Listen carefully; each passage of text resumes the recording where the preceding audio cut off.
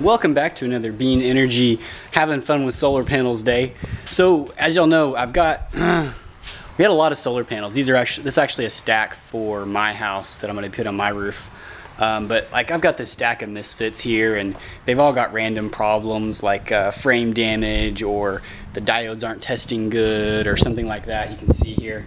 a couple of them are just missing frame pieces. So I've been kind of playing around with them, and uh, one of the things was the uh, diode box on the back. That guy's looking a bit nasty, right? And you can see on the front here, certainly not gonna sell that solar panel as a good used panel, right? But one of the things that people have problems with, with these higher voltage panels. These have a 46 volt open circuit. The problem is if you want to run this on a 12 volt system with an inexpensive charge controller, like one of these. Because tests have been done that these PWM charge controllers really aren't junk as long as you get a high quality one. But they definitely don't work with the higher voltage panels because the MOSFETs in there, I believe this is the problem, MOSFETs in there will short themselves out with that 46 volts open circuit. They're, they want a panel that's below 20 volts or so, which is your 12 volt panel so what I thought was, it's just a bunch of cells in series, right? And the way these are set up is, is you have the bypass diodes um, up in the junction box. Right here is your, your main, I don't know if it's negative or positive, right? But it goes all the way down. These are all cells in series. You know, each of these is a cell. And then it comes all the way back up. And then it hits a tab where you have a bypass diode running between there, between this, this row and this row. And then it comes all the way back down all the way back up. And then another tab where you have a bypass diode between here and here. And then all the way down all the way back up to the wire the other MC4 connector. So what I thought was at first well why don't we split this into thirds? Two, four, six, because that would be if this is a 36 volt panel then split it into thirds that would make it a 12 volt or three 12 volt panels right? If I had three. Um, I tried that but the problem is these are a bit used and with uh, just these two columns of cells, I would get about 14 volts open circuit, and that's really not enough to charge a you know 12 volt battery because you need to charge up to like 14.6 volts. So that didn't work. So what I ended up doing was on the back of the panel right here, I, I cut out a piece so I could get access to this tab right up in here. So I cut the back out of the panel, and I'll show you that on the panel that I did. I got access to that tab. I cut the tab in half so that I can connect onto this side here for one end and this side here for the other end. And then what I essentially have done is created two uh, 20 volt panels or 24 volt panels. Um, that's their open circuit voltage, right? The 46 volts divided by 2 would be about 23 volts. And then I ran the wires up to the junction box so that I then put them into parallel. So now it's kind of acting like a split cell um, panel, like one of these guys here, right? That, that's how these are. Is this hole here is a panel, and then this here is a panel, and then they're paralleled together so that you just have one set of MC4s off the back.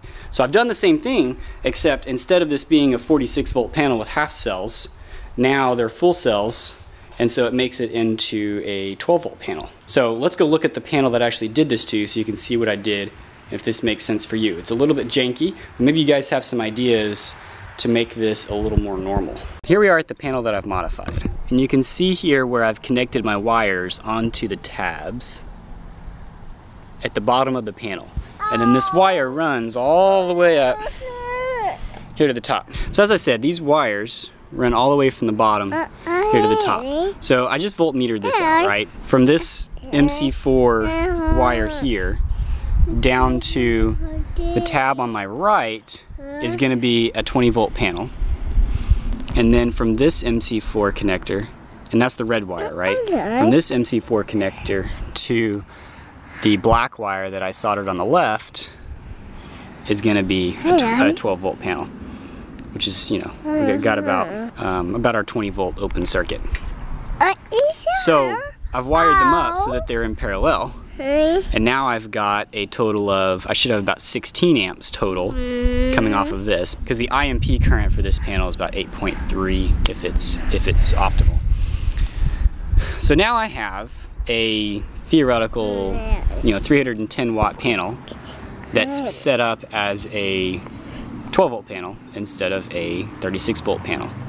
So let's go um, set this up and we'll see how it's performing. It is getting a little bit late in the day. Sun's starting to set. I think it's like four o'clock, but it's a little late in the year. Um, but we've got our panel sitting here aiming more or less at the sun. The max that I was getting earlier I think was about 18 amps. But we'll go ahead and get this little test rig set up here and show you what it's doing. Alright, so I've just got a voltmeter here set up on the battery. So right now the battery is fully charged. It's just topping it off right now. Yeah, leave that there. Leave that there. Um, so voltmeter on the battery. I've also got this load tester on the battery so we can pull the voltage down so that the charge controller will peak.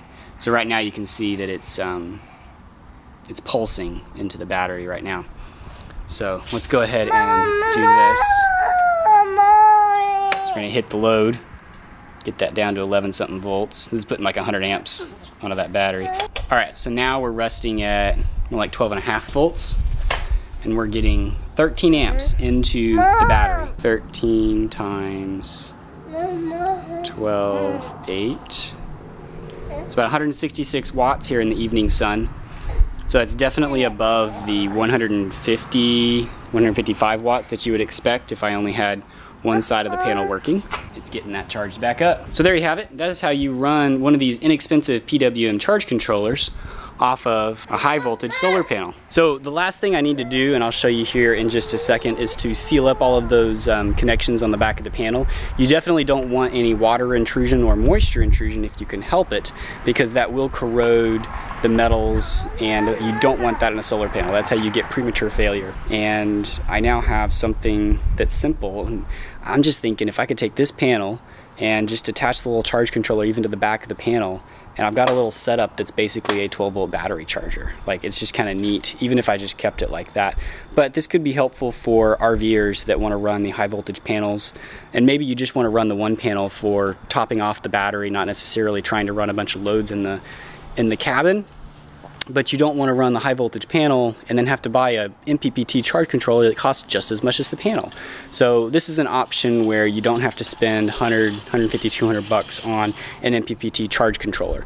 This is probably a prerequisite of having some very inexpensive panels available to you because you don't want to be hacking up a brand new high voltage panel. You'd rather just go ahead and buy the expensive or some or more expensive MPPT charge controller. But like these panels, they're already damaged. Um, I really don't feel bad about hacking them up. And I'll silicone these connections all up so that they're watertight. And I'm sure they've got many years of use left in them. So that is the random project from Beene Energy today. Um, I'll see you guys next time. So I promised you guys that I would show you how I would seal this up and I'll show you how I did the zip ties to keep this wire in place. Here we go. So what we're going to use here to seal everything up is Seal uh, 290. And what this is, is it's a neutral curing silicone, which um, doesn't harm the metals with an, as an acid curing silicone would be. So if you go to seal things up on the back of a panel, make sure you use something like this so that you're not damaging it when you go try to save it. All right, so apparently I thought that I recorded actually applying this neutral curing silicone to the solar panel and I didn't. So you guys are gonna have to deal with just seeing it after the fact. And of course, the purpose of this silicone is to um, air seal so that moisture doesn't get down into the panel and cause corrosion. That's its primary purpose. So I gooped it up right there where I soldered onto the tabs after scratching the back of the panel to get to it.